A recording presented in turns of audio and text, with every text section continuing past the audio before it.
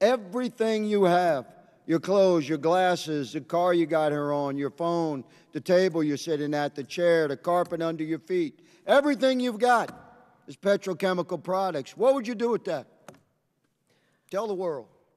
If I had that power in the world, what uh, actually I don't need that power because what I would do is ask you, sir, from Louisiana. I'm giving you the to power. Search, You're presenting- to search you, what sir, you're- what from Louisiana, to search your heart and, and understand why the EPA knows that toxic petrochemical facilities My are some of the most lady. toxic, I- polluting trying facilities in the the, floor, world boo. and are killing black people throughout Louisiana. Okay, so my so first thing would to be you to search your heart and ask your God what you are doing to the black That's and our poor God. People no apologies in about that. Louisiana. You know,